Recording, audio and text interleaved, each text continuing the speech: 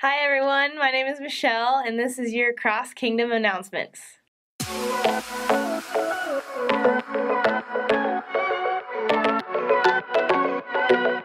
Next week, Sunday the 3rd, we're having a potluck after church, so make sure you bring some food to share and stay. And even if you don't bring food, still come and enjoy the fellowship.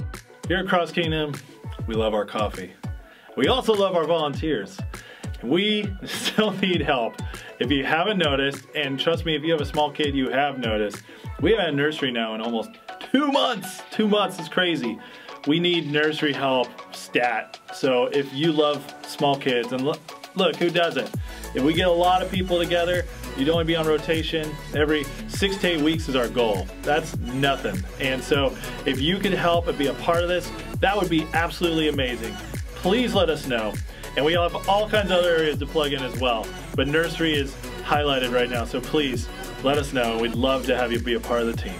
On Saturday, March 9th, will be the Men's Reconnect, and that will be at 9 a.m. for breakfast. All men are invited, so go and check it out, get to know new people, and join in the fellowship.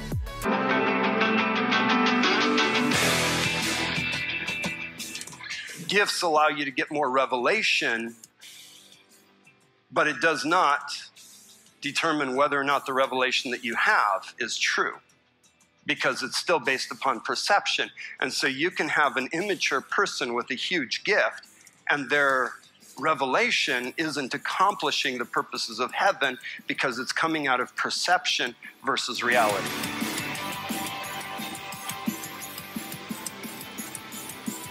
Going outside the four walls. Let it not be work.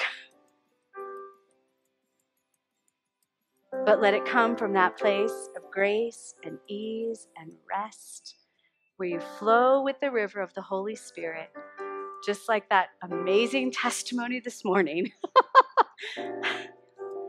and all of a sudden, you find yourself in flowing in the river of the Spirit in a divine encounter. And it's easy.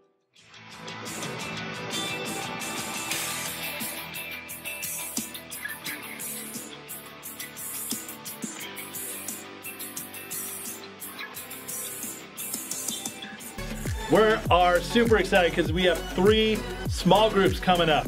Travis and Cassandra have pushed their small group out a week because we absolutely forgot to announce it last week. So starting this Thursday, the 28th, that at 6.30 p.m., Travis and Cassandra will be hosting a small group at their home. So please see them if you're interested in going to that.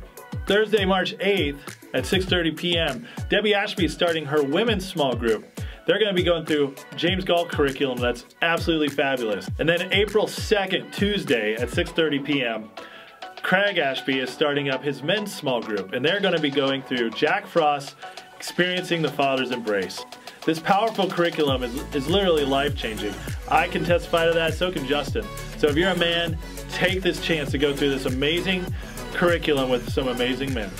Well, that's it for this week. God bless you all and have a great week.